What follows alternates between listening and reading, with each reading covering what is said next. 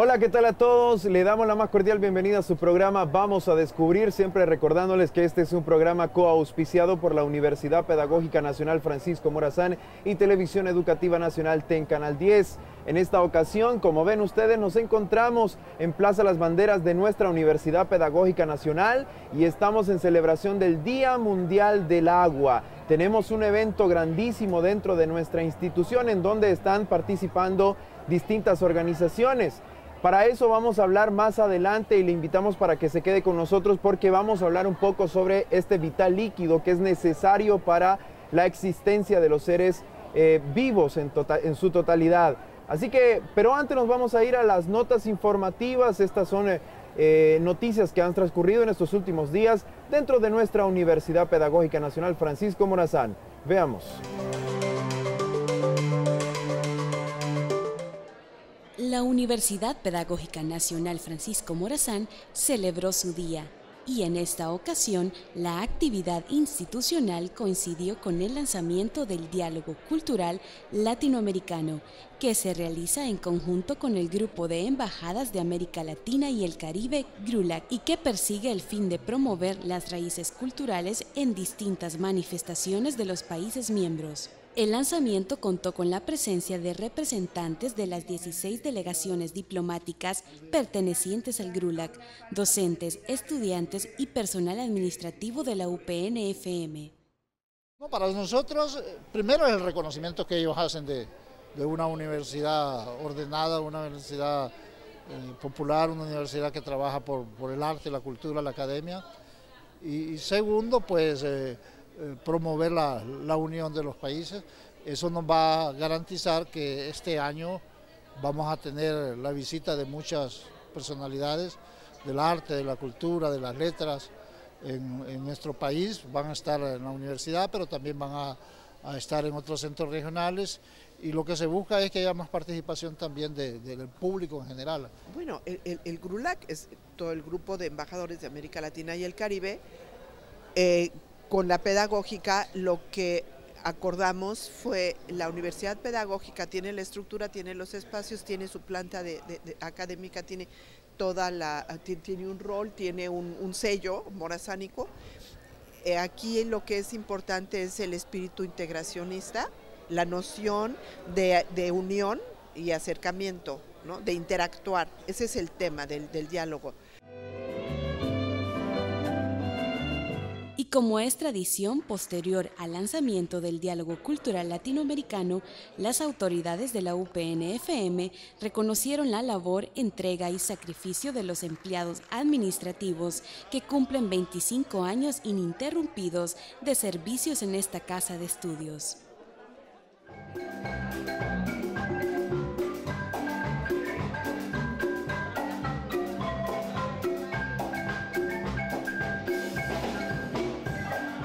La celebración del Día de la institución finalizó con una tarde cultural morazánica que se llevó a cabo en la Plaza Neruda del campus central, donde los grupos artísticos de la UPNFM y solistas invitados se robaron los aplausos y la atención del público que disfrutó de principio a fin.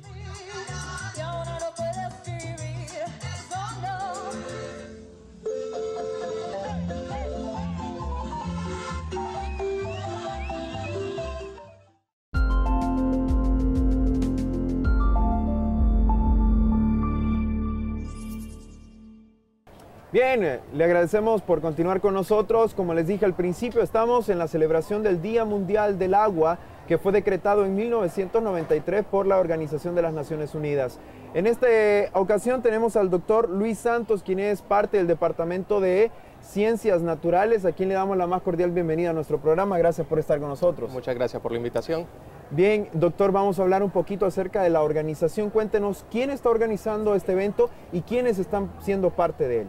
Perfecto, el día de hoy hemos contado con la colaboración de muchas instituciones gubernamentales y algunas empresas privadas. De hecho, es el Comité Nacional de Gestión para las Sustancias Químicas que ha sido recientemente inaugurado y que la Universidad Pedagógica forma parte de él, quienes estamos organizando este evento, con la colaboración, por supuesto, de Mi Ambiente, de DGA, del SANA, de SESCO y algunas instituciones como los bomberos, eh, y otras empresas privadas que han tenido a bien participar con nosotros el día de hoy. Cuéntenos, doctor, ¿hace cuánto tiempo se está organizando este tipo de eventos? Bien, la celebración del Día del Agua, como usted lo mencionaba, pues tiene muchísimo tiempo de estarse organizando. Sin embargo, el comité como tal es la primera vez que organizamos un evento con la intención de dar a conocer a la población hondureña diferentes formas en que podemos manejar este recurso de la manera más adecuada para nuestra población. En este caso se, ha elegido a la Universidad Pedagógica para poder albergar este evento. Eh, ¿Es primera vez que está en la pedagógica este evento dándose a cabo? Es primera vez que está en la universidad, a pesar de que la universidad ya ha participado en eventos similares, pero en esta ocasión hemos eh, sido los anfitriones con la intención de que como ente formador de formadores, pues llevemos eh, la información a los profesores, a los estudiantes de todos los niveles, para dar a conocer todo lo que se está dando el día de hoy. Doctor, y para ser la primera vez que este evento se realiza dentro de la institución, ¿cómo ha sido el recibimiento de la comunidad universitaria ante esto? ha sido realmente muy muy bueno, los estudiantes han estado muy interesados, han participado diferentes organizaciones dentro de la universidad, la Facultad de Ciencia y Tecnología, el Departamento de Ciencias Naturales, la Cátedra de la Tierra que reciben todos los estudiantes de la Universidad Pedagógica y los comentarios que hemos tenido hasta este momento pues son realmente muy buenos ha sido positivo entonces porque no solamente han sido espectadores del evento, sino también partícipes del mismo, como usted lo acaba de mencionar. Sí, una de las cosas eh, relevantes, por ejemplo, el día de hoy es que hemos tenido la participación de SESCO que nos ha mostrado cómo están haciendo la medición de mercurio, de plomo en el agua. Tenemos Alzana que nos está mostrando cómo se hace la potabilización de agua en la represa La Concepción y los Laureles. Eh, las Fuerzas Armadas y la Policía nos han traído una maqueta de cómo se maneja el recurso hídrico tenemos diferentes participaciones, por ejemplo la de los bomberos que nos explican cómo controlar incendios y qué hacer en caso de que exista un incendio. Vale mencionar el esfuerzo que están haciendo estas instituciones para poder mover todo su equipo, eh, todo su personal también para poder hacer estas muestras.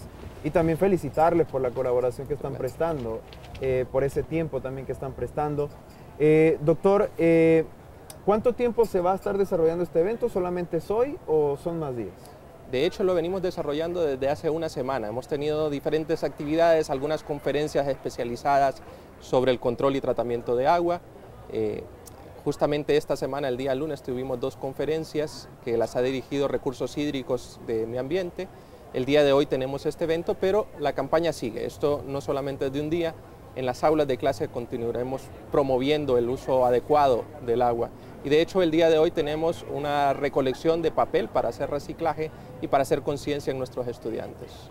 Como lo acaba de decir, este tipo de cosas se hacen para hacer conciencia dentro de no solamente de la comunidad universitaria, sino solamente de los hondureños. ¿Realmente esto está funcionando ante, por lo menos tenemos la comunidad universitaria, que son nuestros jóvenes estudiantes, también los docentes? ¿Está funcionando? ¿La gente se está concientizando del buen uso de este, de este vital líquido?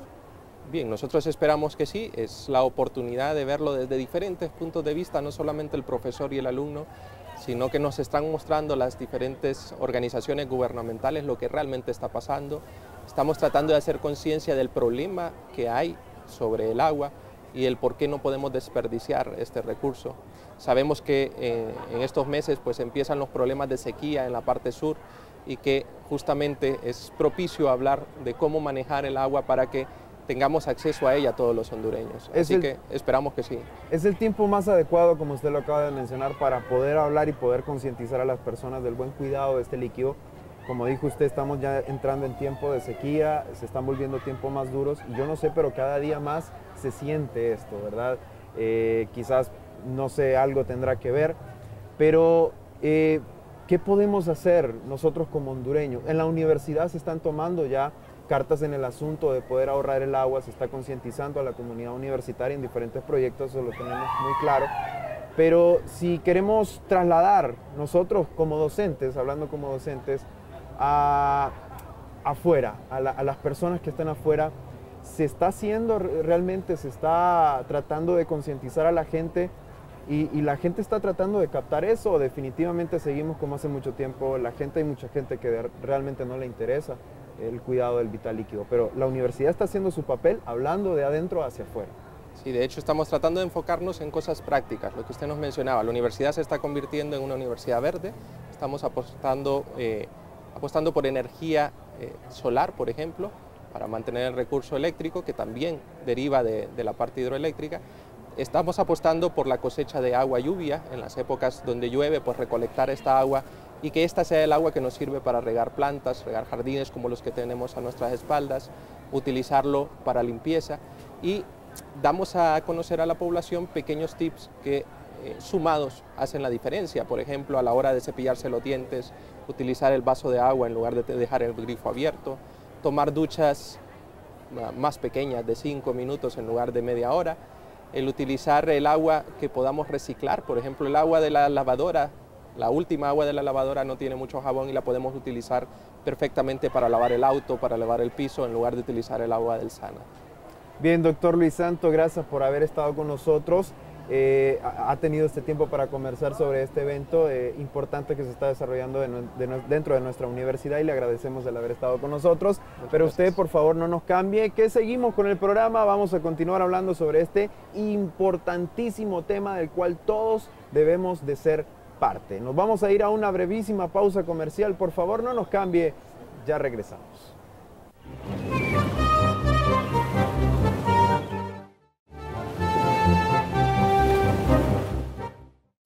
Bien, gracias por continuar con su programa. Vamos a descubrir, estamos hablando sobre un tema bastante importante, es el Día Mundial del Agua, es el que estamos celebrando en esta ocasión y como les dije al principio nos encontramos dentro de las instalaciones de nuestra Universidad Pedagógica Nacional Francisco Morazán, en donde se han montado, muchos están, eh, en donde se están mostrando diferentes acciones que se están tomando para el cuidado eh, y la preservación de este vital líquido que es el agua. En esta ocasión nos acompaña el ingeniero Carlos Thompson, quien es director de SESCO, que es parte de la Secretaría de Medio Ambiente. Así es. Eh, él nos acompaña y vamos a hablar sobre, eh, sobre este líquido, sobre las, las, las, eh, las, cosas que se están haciendo para su cuidado. ¿Qué es lo que está pasando actualmente con el agua? ¿A quién le damos la bienvenida? Mucho Gracias por estar con Gracias por la invitación, ¿verdad? Gracias. Mucho gusto de estar aquí en la Universidad Pedagógica y más en este día tan, tan especial para, para, todos. Así es, y a usted también le agradecemos el tiempo que se ha tomado para estar aquí con nosotros. Eh, comencemos, doctor, con este tema, eh, perdón, ingeniero, con este tema tan interesante. Eh, ¿Qué está pasando actualmente con el agua a nivel mundial? Sí, básicamente, bueno, este día, ¿verdad? El Día Mundial del Agua que se celebra en este momento, se hizo, ¿verdad? Eh, después de lo que fue la Cumbre de la Tierra para el año 1993, fue la, primera celebración. En la cumbre que se celebró en, Río de Janeiro en 1992 se, tiraron diversas líneas, diferentes líneas, para hablar del tema de biodiversidad, para hablar del tema del agua, para hablar del ambiente en general y cuáles eran las líneas que teníamos que seguir como planeta, ¿verdad? Como pobladores de este planeta para poder llegar a tener un desarrollo sostenible. Y eh, eh, una de las decisiones que se tomó en esa cumbre fue el tener un día específico para el tema agua. ¿Y qué se iban a hacer esos días del agua? Pues más que todo crear conciencia en la población de la importancia que tiene el agua ¿verdad? Para, para nosotros. Si ustedes se fijan, eh, el agua la ocupamos nosotros para, para alimentarnos la ocupan ya sean desde los niños más pequeños hasta los ancianos. Eh, la utilizamos para el tema productivo, ya sea para producción agrícola, para producción industrial, la utilizamos para navegar, la utilizamos para sacar recursos como eh, eh, el tema de la pesca, ¿verdad? El tema de camaricultura, la utilizamos como medio turístico, como medio de diversión y es importante que nosotros pensemos en proteger el agua, ya que eh, con la problemática que hay de cambio climático, cada vez eh, eh, nos dicen de que vamos a tener muchas menos lluvias, muchas menos precipitaciones. Entonces, ¿qué significa? Que la cantidad de agua que vamos a tener en el territorio va a ir cada vez disminuyendo. Y si no protegemos nuestros bosques, para el caso, si no protegemos las fuentes de agua, las microcuencas, las cuencas, eh, este vital líquido va a ir desapareciendo, va a ir disminuyendo. Y de igual manera, al ir disminuyendo en cantidad, también va a ir bajando la misma calidad del agua que nosotros tenemos. Entonces tenemos que preocuparnos no solo por la cantidad, sino que también por la calidad. Por eso tenemos que tomar acciones, ¿verdad? Ya sea como gobierno, como municipio, como población en general, como empresa privada, para que eh, esa calidad que tenemos en este momento en Honduras eh, se siga manteniendo, ¿verdad? Eh, actualmente nosotros tenemos un sinnúmero de ríos, un sinnúmero de cuencas, ¿verdad?, que irrigan todos nuestros valles, todo nuestro territorio, desembocan en el Mar Caribe, desembocan en, en el Golfo de Fonseca, en el Océano Pacífico, y a lo largo de todas esas cuencas, esta agua nos sirve para diferentes usos. Para el caso, eh, yo menciono aquí la, cuenca del Choluteca, qué tan bondadosa es desde que nace ahí en la montaña Hierbabuena, donde se cultivan este, todas esas hortalizas que nosotros consumimos, ¿verdad? Eh, el agua que nosotros tomamos también sale de esa misma montaña de Hierbabuena, de esa cuenca de, de Huacerique. Y de igual manera eh, pasa por todas las ciudades principales como Tegucigalpa, y eh, ahí nos sirve para que nosotros podamos descargar también eh, esas aguas residuales que nosotros eh, generamos. Pero también debemos de empezar a ver el tema de que esas descargas que nosotros hacemos tienen que ser un poco más limpias, ya que no podemos estar haciendo descargas directas. Entonces, por eso es que el gobierno, a través de diferentes instituciones, organismos como el BID, han hecho eh, un sinnúmero de, propuestas, de proyectos, para que podamos venir y tener un saneamiento de lo que es la cuenca del Choluteca y que podamos eh, utilizar la verdad de mejor manera esta cuenca del Choluteca, ya que río abajo, después de, después de la ciudad de, Teucigalpa, del Distrito Central, esa agua se sigue utilizando para el tema agrícola, ¿verdad? Ya sea en el Valle de Cantarranas, en la zona del, del departamento Choluteca, hasta que desemboca en el, Mar Caribe, en el, Océano Pacífico, perdón. Entonces, eh, es importante, ¿verdad?, el tema del cuidado, y no solamente esta cuenca del Choluteca, sino tenemos la cuenca del Chamelecón, la cuenca del Ulúa, el Aguán, ¿verdad?, que son tan importantes para el sistema productivo nacional. Si bien es cierto, ingeniero, el 80% de nuestro planeta es agua. Pero de ese 80%, no todo es agua dulce. Estamos hablando de un 2%. Exactamente. Si, usted se fija, el, agua que es apta para consumo humano es, es mínima, ¿verdad? Y eh, por eso la importancia de, que, de cuidar este, este recurso que, nosotros podemos llegar a consumir o a utilizar, ¿verdad? Para nuestro sustento, para nuestra supervivencia. Y eh, entre más está contaminada el agua, los costos de tratar esta agua para que pueda ser para, apta para consumo humano, entonces van a ser mayores. Entonces, por eso la importancia de contaminarla lo menos posible. A eso vamos, y es que lastimosamente eh, ese 2% de agua que tenemos en el planeta lo tuvimos abundantemente en, en, cierta época. Exactamente. Y de hecho hasta se desperdiciaba. Pero yo he visto Hoy en día yo he sido testigo de, que las personas lo desperdician increíblemente. Gente con sus mangueras en la calle, eh, gente con sus mangueras en los carros.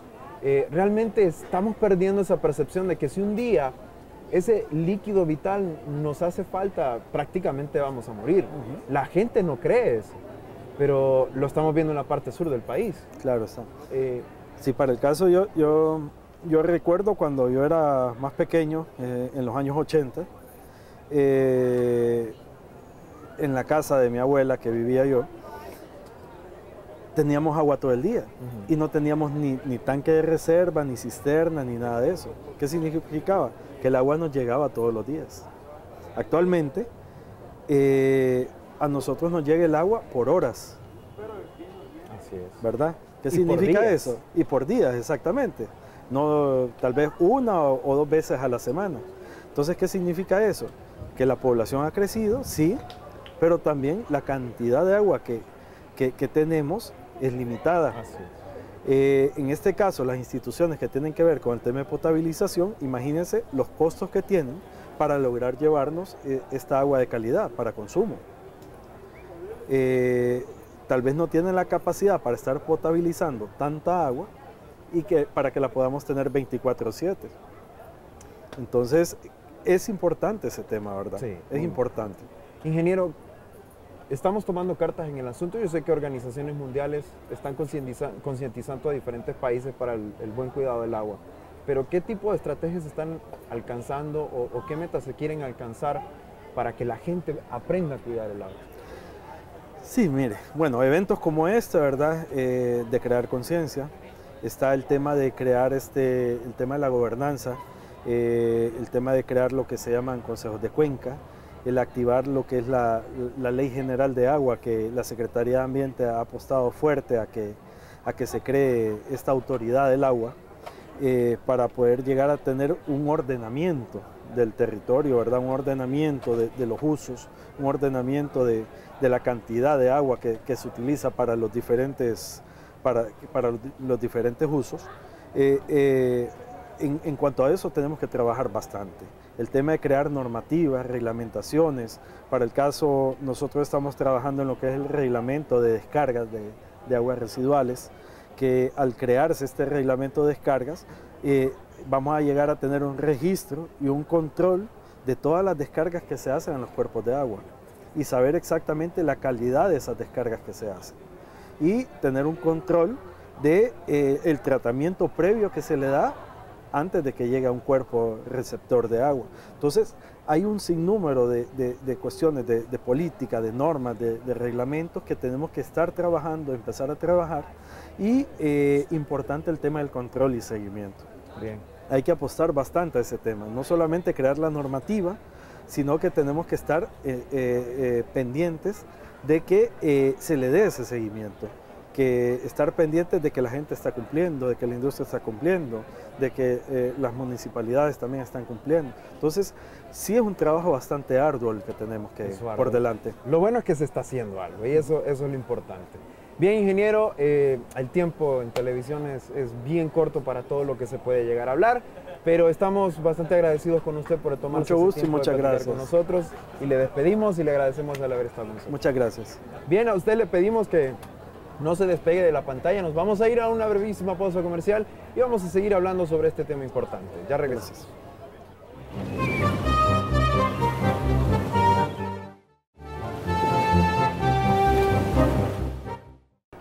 Bien, gracias por continuar con su programa. Vamos a descubrir, hablando y conversando con muchos invitados el día de hoy en este gran evento eh, pues celebrando el Día Mundial del Agua y en esta ocasión me acompaña la ingeniera Carmen Cartagena, quien es directora de recursos hídricos, a quien le damos la más cordial bienvenida. Gracias por tomarse el tiempo con nosotros. Gracias a ustedes por la invitación en nombre de mi ambiente y de la Dirección General de Recursos Hídricos. Bien, ingeniera, y es que estamos hablando sobre este tema tan importante, pues estos eventos eh, organizados para concientizar a la población, en este caso a la población universitaria de nuestra universidad para el cuidado de este vital líquido. Pero queremos en esta ocasión que nos cuente en qué se basa la Dirección de Recursos Hídricos y qué contiene. Bueno, nosotros somos una dependencia de la Secretaría de Energía, Recursos Naturales, Ambiente y Minas, conocida como Mi Ambiente. Y eh, dentro de esta secretaría existen varias direcciones donde encontramos la Dirección de Evaluación y Control Ambiental DECA, la Dirección de Gestión Ambiental, la dirección, eh, está CESCO, que es el, Centro de Estudios de Control y Contaminantes CESCO. Tenemos también la Dirección de Biodiversidad y también están adscritos a mi ambiente el, eh, ICF y, e Ingiomin. Nosotros somos la Dirección, de, Dirección General de Recursos Hídricos, que dentro de mi ambiente es la que está responsable de ejecutar las políticas del sector hídrico. Y nosotros dentro de ella tenemos cuatro departamentos.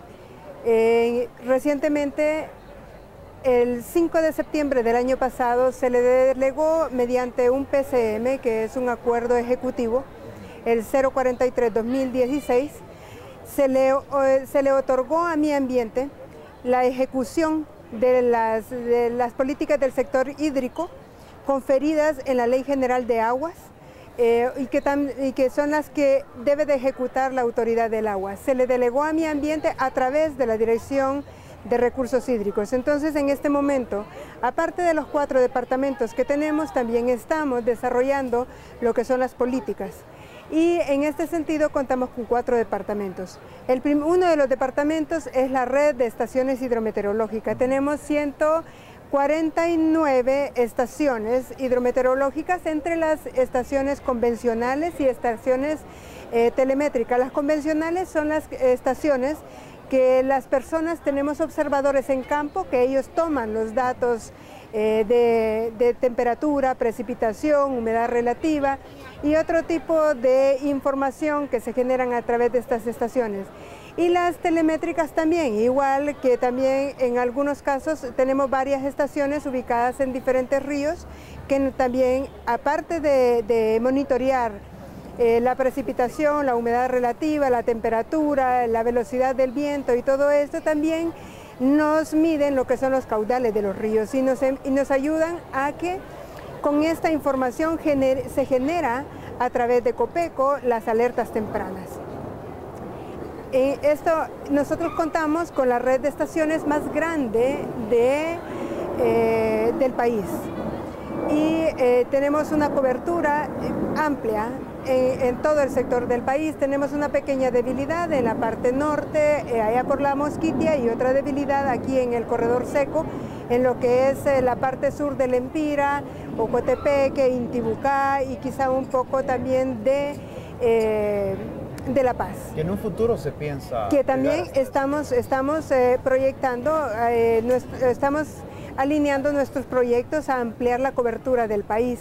Y de hecho, bueno, otras instituciones tienen también sus estaciones con las cuales al final eh, terminamos de completar también, pero sí estamos queriendo reforzar ese tema. Eh, también tenemos el departamento de cuencas hidrográficas. En este departamento es donde nosotros queremos, y es para mí, lo considero un departamento muy importante dentro de, dentro de recursos hídricos. Y es a través de este se van a ejecutar las políticas. ¿Por qué? Porque es donde nosotros estamos conformando, organizando, conformando y estamos apoyando en la legalización de los organismos de cuencas. Los organismos de cuencas son grupos de personas, ya sea eh, del sector, eh, del sector perdón, privado, del sector local, también de las instituciones representantes dentro del área, que se conforman para poder ejecutar todas las políticas. Con ellos lo que se pretende es, mediante todas las otras eh, líneas, bases de información que estamos generando en recursos hídricos, que esta gente se empodere de qué es lo que tienen dentro, de, dentro del territorio y que ellas mismas, con, con, el, con el acompañamiento nuestro, que en conjunto organicemos, por decir así, el plan hídrico de esa área de esa área para ver a dónde las comunidades se quieren ver. Vamos en proceso cada vez disminuyendo el recurso hídrico. Entonces, la gente quiere continuar con, este proceso donde nos quedemos sin este líquido vital o queremos mejorar más bien, ir incrementando el, el recurso hídrico en la zona. Y de esto porque es un proceso que tiene que ser nosotros como, como, institución, nosotros como gobierno no podemos hacer nada si cada quien no aporta lo que tenemos que hacer. Cada quien tiene su responsabilidad en este sentido.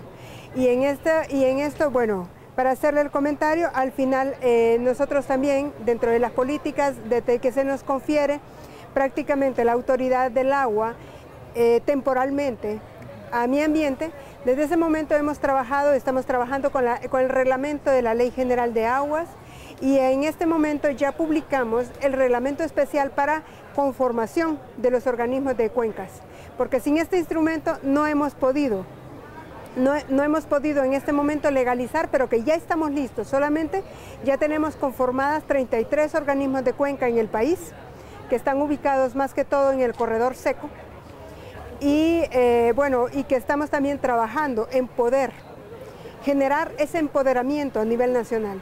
Entonces, en ese sentido, ya vamos con todas las líneas, con toda la, información, eh, tanto legal como eh, ya vamos en proceso para poder generar esta gobernanza hídrica. Cabe mencionar, ingeniera, que la parte del agua en nuestro país sí está organizada el gobierno sí la ha estado organizando como usted lo acaba de mencionar. Es correcto. Porque quizás hay personas que dicen, bueno, no se está haciendo nada con el agua, el gobierno no hace nada con el agua pero estamos escuchando que sí.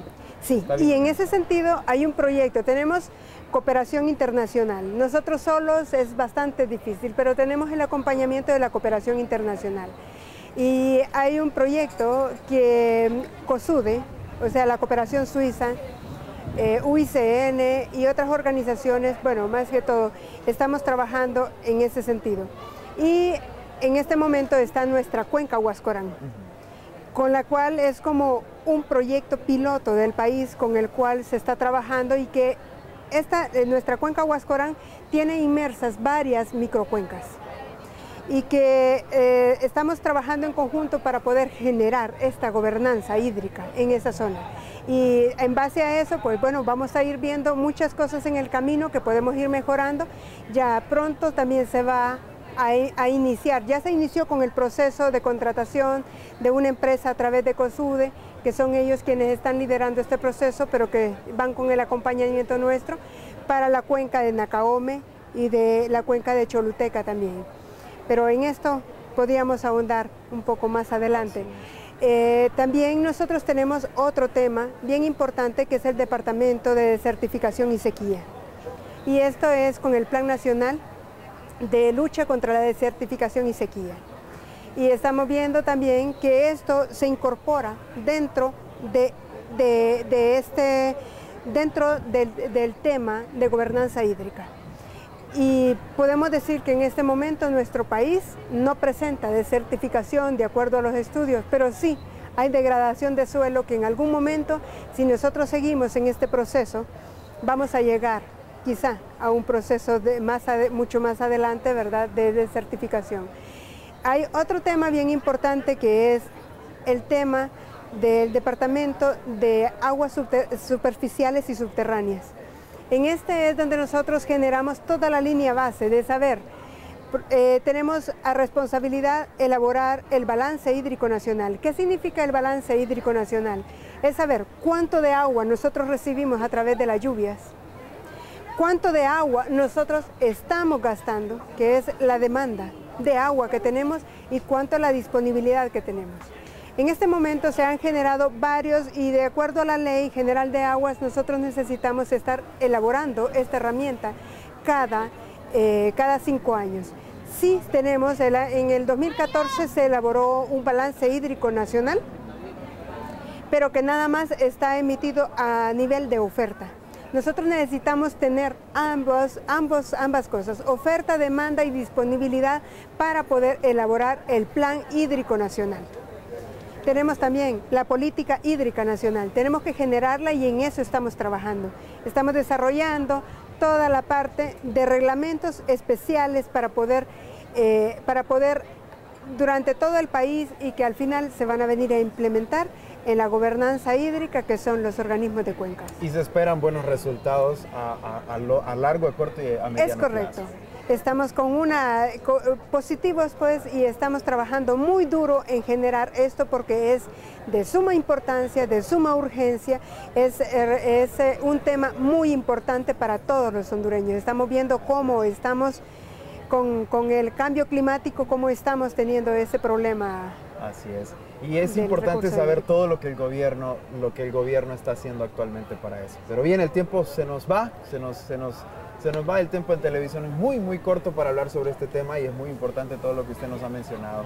Pero bien, eh, ingeniera Carmen Catarjena, directora de Recursos Hídricos, le agradecemos el haber acompañado en este, en este, en este programa, el habernos regalado un poquito de su espacio, un poquito de su tiempo, porque sabemos que estaba ocupadita con este evento pero gracias por haber estado con nosotros. Gracias a ustedes por la oportunidad. Bien, y a ustedes les pedimos por favor no nos cambie, que seguimos hablando sobre este tema, el Día Mundial del Agua. Nos vamos a la pausa comercial, ya regresamos.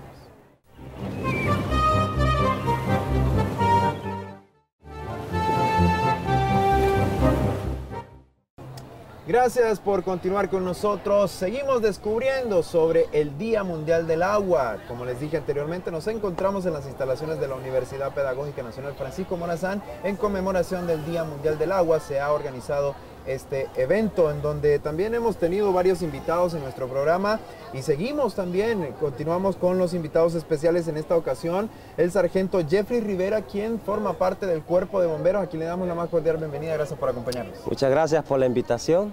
Eh, esperando y concientizando a la gente en eh, la importancia de este vital líquido y cómo podemos hacer para guardar este líquido. Así es. Cuéntenos, sargento, ¿cuáles son las medidas de prevención que se deben de tomar para el cuidado del agua? Ok.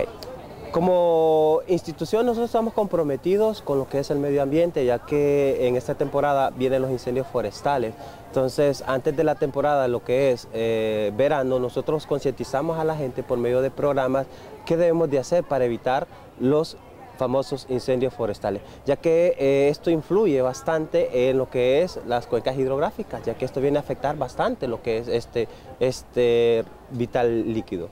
Hay que darnos cuenta el papel importantísimo que juega el cuerpo de bomberos para la prevención de estos accidentes o estos incidentes. Así es, y es una de nuestras obligaciones prevenir, porque si prevenimos vamos a mitigar en este caso lo que son incendios forestales y al mitigar incendios forestales estamos cuidando lo que son los recursos naturales, no solo hablando de las cuencas hidrográficas, sino de la fauna, flora y hasta las mismas especies que hay en el bosque. ¿Qué tipo de actividades o proyectos, sargento, realiza el cuerpo de ah, bomberos? para muy bien, tenemos varias, varias actividades, entre ellas tenemos capacitaciones, capacitamos eh, en temas de prevención contra incendios, tenemos la oportunidad de salir en medios de comunicación y poder hablar a la gente la importancia y qué medidas debemos de tomar para prevenir un incendio forestal. Bien, eh, sargento, el, uno de los problemas que ya se dan a esta época, como usted lo había dicho anteriormente, son los incendios forestales. Sí. La mayoría de ellos por mano humana. Eh, la mayor parte. La mayor parte. La teoría nos dice que son producidas por la naturaleza y también por, los, por el hombre, por los antrópicos, pero real, realmente aquí en Honduras la mayor parte, el 99.99% es producida por la mano del hombre. Y tal vez el hombre no toma conciencia, no ve eh, el daño que está produciendo al planeta, al medio ambiente donde que le rodea. Bien, y para, para concientizar un poquito, porque hay gente que dice, ah, le voy a meter fuego a esta, a esta zacatera y no pasa nada. No pasa nada. Y lo que pasa, a veces, a veces el mismo el mismo, ¿cómo le podría decir? El mismo campesino va a sembrar, dice que voy a tomar las medidas de prevención para poder sembrar y hace una ronda, pues, porque voy a quemar pues, pues, posteriormente a sembrar. Pero esa ronda que esta persona elabora, no las elabora con las medidas adecuadas y mete fuego y de repente vino una oleada de aire y esto me pasó la ronda y esto se convirtió en un gran incendio y vemos, los, vemos las repercusiones, vemos que el ambiente está lleno de humo, ya vienen las repercusiones a la salud, vemos que se pierde, se pierden los bosques y al no haber bosque no tenemos agua. Así sí, es que hay gente, tomando en cuenta lo que usted acaba de decir, que hay gente que cree que, bueno, voy a, hacer, voy a poner este poquito de basura aquí, lo voy a quemar y no pasa nada. Y no pasa Pero el humo el humo que está saliendo, ese montón de cosas que se está quemando en la mayoría, es monte, todo eso. ¿Qué es lo que causa ese humo? Eh, ¿Es malo o no pasa No, como no, nos perjudica. Y lastimosamente los que salen más perjudicados en, en, esta en esta temporada son los niños y los adultos, los ancianos, con problemas respiratorios. Bien. También daña la economía. A veces se ha fijado que paran los vuelos, ¿por qué? Por, por, la bruma que hay en el lugar, no hay visibilidad. Entonces, mire, hasta la, hasta la parte económica se para. Bien, de, tiempos anteriores al tiempo actual, ¿ha disminuido eh, los incendios forestales por medio de, mano humana o ha, aumentado? Vemos que eh, como que la gente no quiere tomar conciencia, no quiere tomar conciencia de, no quemar los bosques. Y tal vez ellos creen que solo quemo bosque y se va a ver aquella gran luz en la noche y solo eso pasa. No, hay una repercusión y en este caso vamos perdiendo los árboles y al no haber árboles no vamos a tener agua, porque no haber, estamos dañando las cuencas hidrográficas. Y es que a veces nosotros mismos nos preguntamos, ¿qué es lo que motiva a estas personas a, a, meterle Los famosos pirómenos. no sé qué les, no sé qué les motivará. no, sé, no sé, ¿será que, le, ¿será que les gusta ver a los bomberos trabajar ahí, apagando el fuego? ¿no? decir sargento, que se arriesga la vida de los mismos bomberos. Sí, se, arriesga bastante porque cuando uno ingresa a montaña, de, montaña adentro, uno no conoce la topografía del lugar. De repente un, mal paso puede caer a una hondonada. O, un animal corre riesgo de que un animal lo puede picar, lo pueda morder dentro de un bosque. Hemos sido testigos de grandes incendios forestales en donde los bomberos toman rápida reacción, pero poniendo en, la vida en riesgo de, los bomberos, que también son padres de familia, que también son hijos. Somos también son, una persona normal, pero como cualquier otro la ciudadano. se está concientizando, primero, de la vida de las personas que están tratando de luchar con esto, y segundo, de que se está acabando el agua. Se está acabando el agua. Se está acabando el agua, la muestra es en la parte sur de nuestro país, en donde se está viendo ya desde hace mucho tiempo. Y está deforestado esa zona. Así es. Cuéntenos un poquito sobre el stand que ustedes han traído a, este evento. Ah, bueno, eh, nuestro stand está representando tres aspectos. Uno es el aspecto del equipo de el equipo las herramientas que nosotros utilizamos para combatir estos incendios, ya sea un incendio estructural o ya sea un incendio forestal.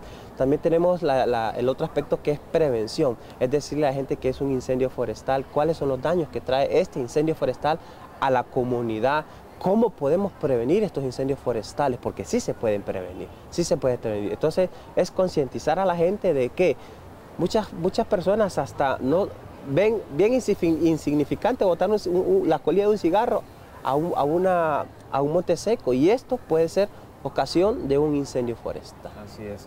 ¿Qué tipo, nos hablaba de las herramientas que se utilizan? ¿Qué tipo de herramientas son las que se utilizan? Bueno, tenemos en exhibición lo que son herramientas como el equipo de protección, tenemos los matafuegos, rastrillos, tenemos bombas mochilas y otra variedad como eh, mecheros Todas estas, todas estas herramientas nosotros las utilizamos nosotros para poder tratar de controlar un incendio dentro de un bosque. Ahora, los, el cuerpo de bomberos tiene una previa preparación para poder combatir con los incendios. Así es, sí. todo el personal que usted ve que ingresa a un incendio, antes de eso ha recibido un curso, una capacitación, un entrenamiento para poder ingresar, porque eh, una persona que no ha sido eh, capacitada, instruida, ingrese a un lugar de estos, corre riesgo de que esta persona pueda salir lesionada o hasta perder su vida. Y lo decimos porque quizás hay personas que, sean eh, testigos de algún incendio forestal, no lo haga, sino que mejor llame oh, correcto. Si usted no tiene los conocimientos básicos para poder controlar un incendio, en este caso en un bosque, no ingrese, porque corre riesgo de que lo pueda arropar a la misma, lo pueda eh, arropar las la, llamas y pueda quedar entre medio de las llamas y no va a tener lugar donde salir. Entonces, si usted no tiene el conocimiento básico de poder eh, controlar un incendio, no lo haga. Bien. El sargento Jeffrey Rivera es eh, parte del cuerpo de bomberos de nuestro país. Nos ha hablado un poco acerca de la labor que ellos desarrollan en la parte forestal de nuestro país, en la prevención de los incendios forestales que obviamente causan daño y causan que el agua disminuya en nuestro país. Así que realmente es una actividad digna de felicitar. El cuerpo de bomberos eh, es, es un mente muy importante en nuestro país y el cual pues aprovecho, ¿verdad? En nombre de todo el pueblo hondureño, felicitarle por la labor que desarrolla. Gracias, gracias por sus palabras. Le agradezco el haber acompañado un ratito en este programa. es un privilegio estar aquí, gracias. Bien, con ustedes también continuamos. Eh, por favor no se vayan que vamos a seguir con más de Vamos a Descubrir. En este caso estamos descubriendo sobre el Día Mundial del Agua.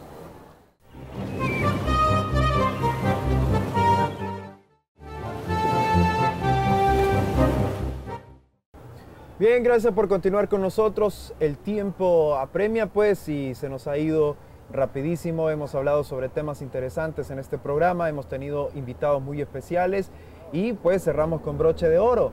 Eh, vamos a cerrar con una de las protagonistas de la organización de este evento, en donde se ha conmemorado el Día Mundial del Agua. Y le damos la bienvenida a la doctora Lilian Oyuela, quien es jefa del Departamento de Ciencias Naturales. Mucho gusto y gracias por estar con nosotros. Mucho gusto, gracias por invitarnos. Estamos aquí en un día muy especial porque estamos conmemorando el Día Mundial del Agua. Así es, doctora. Eh, como hemos tenido variedad de temas en esta ocasión, siempre con la parte importante hablando del agua. Pero vamos a hablar un poquito acerca de lo que engloba o qué papel juega la Universidad Pedagógica Nacional Francisco Morazán con este evento y con las instituciones que están actualmente aquí. Como todos sabemos, nuestra Universidad Pedagógica Nacional Francisco Morazán, una institución insigne de formación de formadores, está de una otra manera con este tipo de evento participando y de otra manera ha sido la casa, ha abierto las puertas a diferentes instituciones y especialmente hemos hecho una sinergia muy interesante con la Secretaría de Energía, Recursos Naturales, Ambiente y Minas, eh, Mi Ambiente, y también a raíz de que nosotros como Departamento de Ciencias Naturales pertenecemos a un Comité Nacional de Gestión Ambiental, como Comité de Educación y también pertenecemos a un Comité Institucional de Ciencias Ambientales en donde todas las universidades convergemos eh, para dar eh, pie a este tipo de temas, sobre todo para lograr prácticas amigables con el ambiente. Bien, doctora, nos mencionaba, eh, este, este evento dentro de la universidad es primera vez que se realiza. Sí, es primera vez, gracias a que Hemos eh, contado con la participación de varios colegas dentro del CNG, contamos con la eh, colega Roxana Burnes, el doctor Luis Santos, mi persona que hemos tratado de asistir a los diferentes eventos del comité y a raíz de, esa sinergia se ha pedido a la universidad, ¿verdad?, como una institución educativa que prestara los, los predios para hacer un evento eh, conmemorativo y sobre todo para que hagamos conciencia ambiental con nuestros estudiantes. Ha sido muy importante porque nuestra institución como institución pionera en temas ambientales, especialmente desde la Cátedra de la Tierra, recuerdan que nuestro proyecto insigne es que tratamos temas ambientales como un eje transversal y es allí como nosotros logramos que por primera vez lográsemos eh, que todas las instituciones amigas eh, sobre todo que están hablando de temas ambientales, pudiésemos estar hoy aquí. Bien, ¿y cómo ha sido el recibimiento de la comunidad universitaria a este evento? Ha sido de mucho provecho, ha sido muy bueno, nuestros alumnos han sido partícipes, están preguntando, incluso están tomándose fotos, van a subir a las redes eh, sociales. Eh, mensajes alusivos al día y a la vez también nuestros colegas que han colaborado en toda la logística, el Departamento de Ciencias Naturales, tienen un potencial de colegas que participan en este tipo de eventos, desde la cátedra, desde los comités que antes les mencioné. Bien, excelente. Así que eh, este evento que se ha albergado dentro de nuestra universidad pedagógica, podríamos decir entonces que ha sido un éxito. Así es. Bien, y esperamos que usted también haya disfrutado en su casa. Eh, hemos hablado sobre la parte, las eh, organizaciones que han trabajado en la parte hídrica de nuestro país, también hablamos sobre políticas que se están realizando eh, sobre el cuidado del agua también en nuestro país. Eh, nos dimos cuenta que el gobierno sí está organizado en la parte hídrica, sí está haciendo proyectos. Solamente hace falta una parte, doctora, y eso es concientizar a la gente que también apoye. es papel nuestro también tratar de cuidar el agua, tratar de protegerla, pues es base fundamental para la vida. No sé si tiene palabras finales para nuestros televidentes. Sí. Lo importante es que como educadores nosotros podemos hacer muchas cosas, empezando de nuestra casa, nuestros centros educativos, haciendo conciencia, sensibilización con relación a un recurso que depende de que nosotros dependemos de él y también nosotros podemos hacer mucho por cuidar el bosque, cuidar los ecosistemas, que realmente Honduras es un país que tiene el recurso. Entonces solo es que nos demos cuenta que, lo, que existe y que también lo protejamos y logremos la sostenibilidad que tanto veces mencionamos. Doctora Lilian Oyuela, gracias por haber estado con nosotros, la jefa del Departamento de Ciencias Naturales de nuestra Universidad Pedagógica Nacional Francisco Morazán.